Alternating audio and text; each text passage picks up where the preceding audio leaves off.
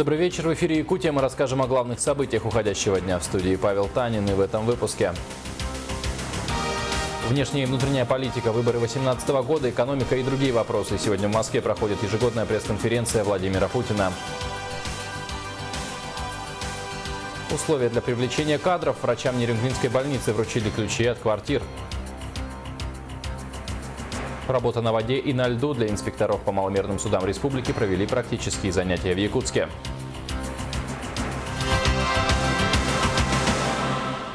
Почти три часа прошло с начала ежегодной пресс-конференции Владимира Путина. Тринадцатая по счету собрала свыше полутора тысяч журналистов российских, региональных и зарубежных масс-медиа.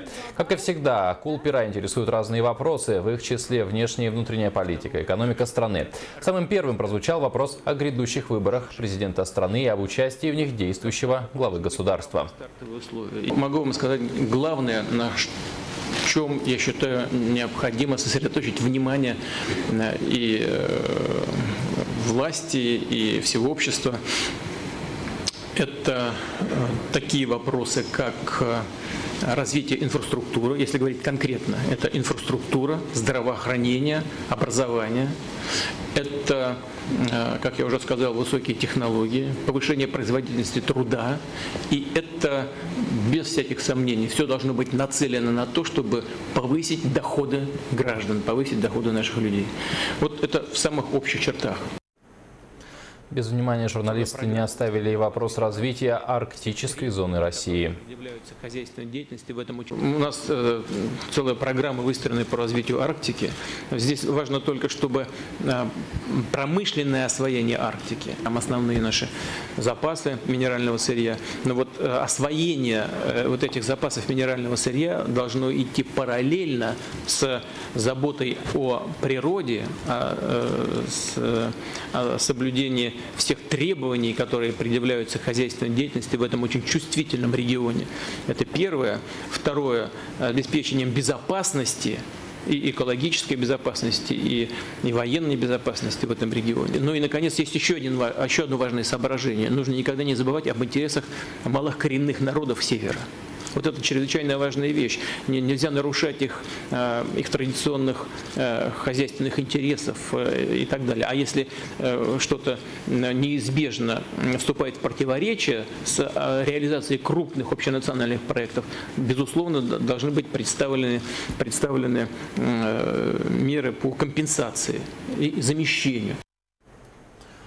Другим темам в Москве стартовали Дни Якутии. В их программу вошли и Дни субъекта в Совете Федерации. Сразу в пяти профильных комитетах провели заседания с участием представителей Якутии. В одном из них, заседании Комитета по федеральному устройству, участие принял руководитель региона. В своем выступлении Егор Борисов затронул темы совершенствования законодательства, развития арктической зоны и снятия инфраструктурных ограничений в регионе. Также он вручил сенаторам юбилейные знаки за вклад в законодательную базу севера страны, посвященные 385-летию вхождения Якутии в состав российского государства. Дни Якутии ждали в Совете Федерации. Надо сказать, что не только в Дни Якутии, но и в другие периоды мы очень часто размещаем выставки Якутии. Приезжают творческие коллективы. Поэтому мы за Якутией следим, смотрим, восхищаемся, насколько идет быстрый темп и динамика в развитии культуры, инфраструктуры в целом. В то же время мы видим, что проблем еще очень много. В частности, вот э, дни Якутии в Совете Федерации помогают. В Якутске открыли центр по выплате пенсии и обработке информации. Ему передали часть функций, которые ранее выполняли территориальные органы ПФР. Это ведение регистрации и учета страхователей, предоставление информации из базы данных в рамках межведомственного взаимодействия, формирование и ведение сведений о получателях государственной услуги. На церемонии открытия побывала Сарглана Федорова.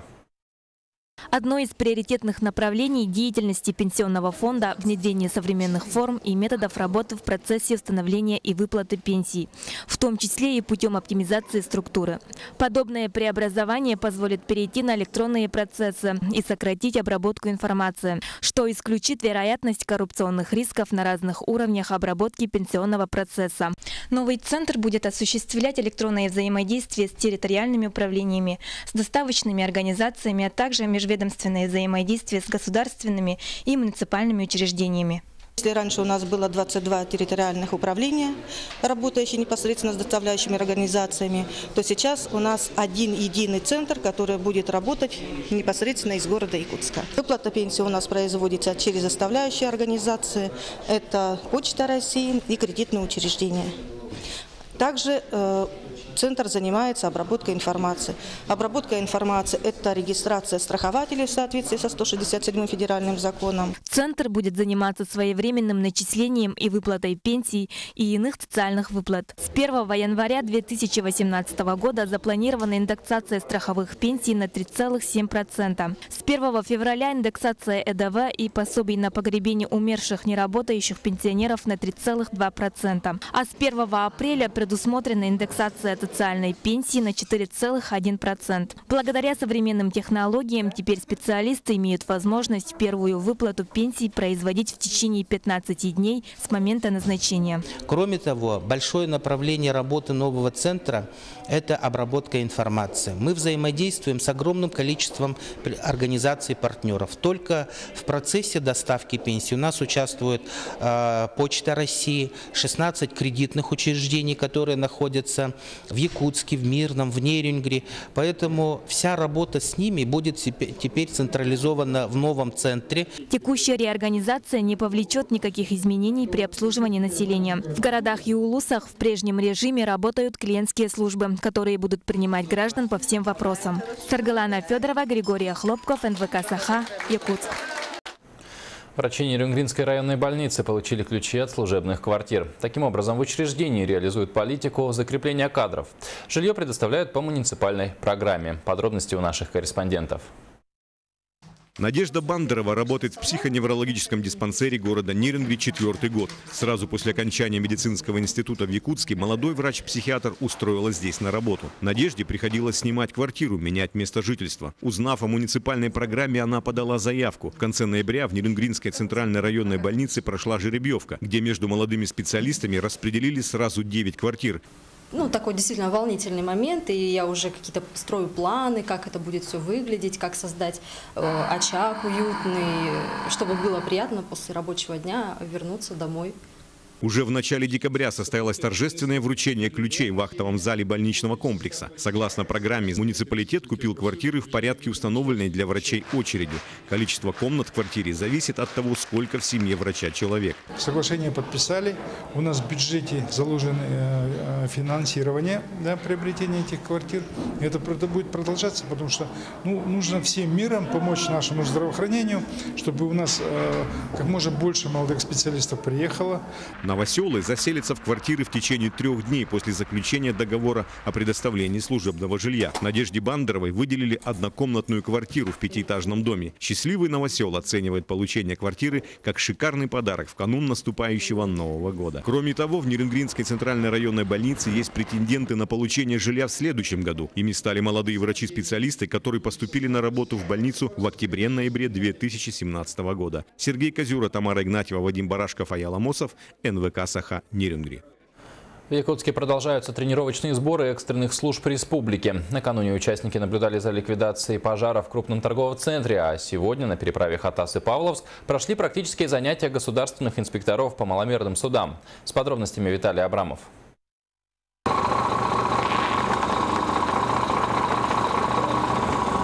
Инспекторов ГИМС созвали со всей республики. После интенсивной теоретической части их обучают новым методикам и правилам взаимодействия с остальными органами исполнительной власти. К примеру, во многих районах Якутии нету таких пунктов весового контроля. Установлен весовой пост на правом, на левом берегу. И э, комиссионно в составе управления дорог, МЧС, ГИБДД Э, производится замер толщины льда и устанавливается определенный грузоподъем. Помимо того, знакомят с другими видами техники, которые в скором времени появятся у них на местах. Оборудование для работы на ДТП, на э, техногенные катастрофы и так далее, для резки металлов, ну, все что угодно можно сделать. Есть подразделения, приехали представители, где есть переправы ледовые, есть подразделения, в которых нет. Поэтому идет обучающий процесс. Нормативную базу мы повторили на занятиях. Сейчас идет закрепление практической части. Ну и, возможно, самое главное для обучающихся – правила оборудования ледовой переправы протяженностью более километра. В данном конкретном случае длиной 24 тысячи метров с четырьмя полосами. Попутно идет знакомство с новым георадаром «Пикор-5». Вот эта резервная закрыта, она заливается, уже залита. Ага. Впервые проезжаем по всей полосе. Например, у нас э, переправа протяженность где-то 500 метров, 500-600, а здесь получается более 20 километров. И как бы мне это более интересно, чем стоять на берегу, там как бы знаки получаются одинаковые, вешки и так далее. Вот то, что это. И вот некоторые районы, у которых нет переправ, они тоже друг другом делятся опытом. Очень интересно, как бы познавательно, что действительно э, контроль точный проводится, не так, не на глаз, как мы, допустим, смотрим, или по путевым листам э, это самое, может быть, тоже как бы скрывают грузоподъемность транспорта. Вот. Но здесь, конечно, уже не обманешь. Кроме того, большое внимание было уделено вопросам информирования населения, прогнозу рисков на водных объектах, оказанию первой медицинской помощи, а также государственного и технического надзора за ледовыми переправами. Виталий Абрамов, Владимир Таюрский, НБК Саха, Якутск. И последнее. В Москве стартовал заключительный этап всероссийского конкурса ораторского мастерства «Мой русский язык». Его посвятили столетию со дня рождения якутского поэта Семена Данилова.